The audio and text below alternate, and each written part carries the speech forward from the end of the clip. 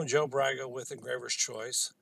I have made a LightBurn video course to go with um, my Boss laser systems, but it will work with anybody's laser system. I do not care what you bought, what you have, as long as you have LightBurn, this course will work for you. Now, uh, with LightBurn, it's going to go over some major features like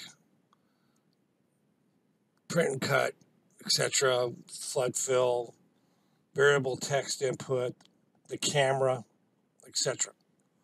So when we get into it, you'll go into here and you'll have this dialog screen, which means you'll be able to pop into the Lightburn course. And from the Lightburn course, you will see that it's um, several sections, six pages per section, four sections per page, broken down into one subject for a three to five minute video. Now, each page will encompass that. Try to keep to a thought. Now, there will be videos that do not have pages. They are either command videos where I have gone into Lightburn and simply pulled down the menu and looked here and said uh, Boolean or edit nodes or whatever and just did a video on that. They're in directories, they are numbered from top to bottom, they're indexed, they are easy to find.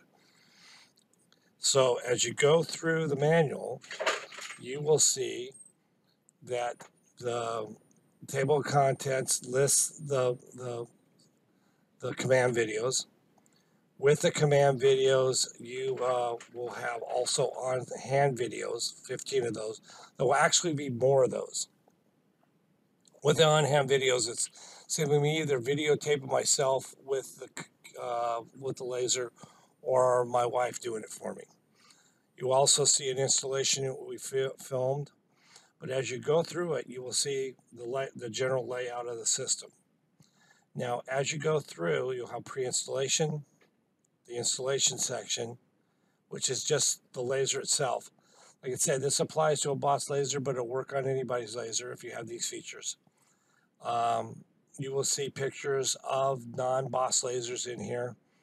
Um, it goes through the theory of lasers, how they work, how to dial materials and what power and speeds to use, how to make a positioning table, which was very useful when you're working with absolute positioning, Remember, one of the features of this is you can work absolute positioning or you can set an origin within the unit.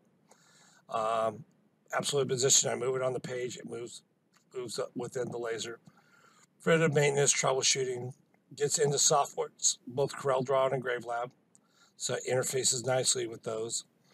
Um, talks about a default job, so it holds default, so every time you type red, if you're always cutting a certain material, will always bring up the right power and speed.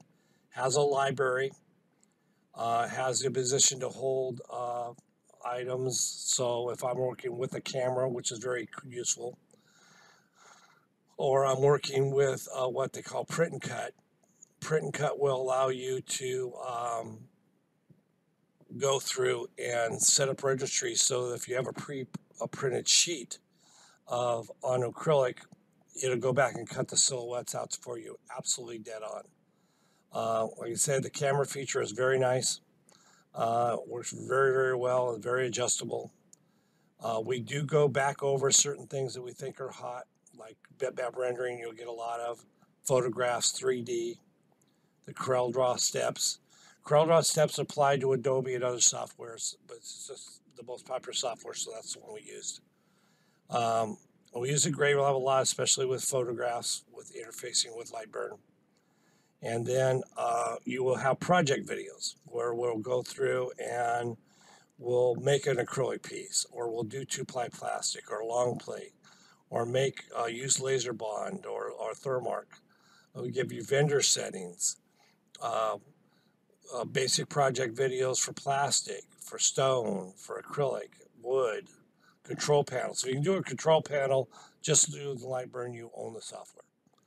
Uh, like I say, we list your power and speeds. These are ballpark settings and there's libraries already made for them. Uh, keyboard overlays for the different units. Um, let me go through this pretty quickly. Like I say, you have a cut optimization, you have a flood fill, you have welding, Boolean wells, which are different, they're more advanced. Uh, text offsets and arcing, variable text both from an CSV file and from an email. Uh, the camera, as I said before, uh, usability features that just make it easier to get from point A to point B. Uh, spline optimization, which means you bring in something with a crud little nodes and it's a lot of cleanup and to clean it up very quickly. The cut and print that, or the print and cut that we just mentioned, you can also focus on different levels within one job.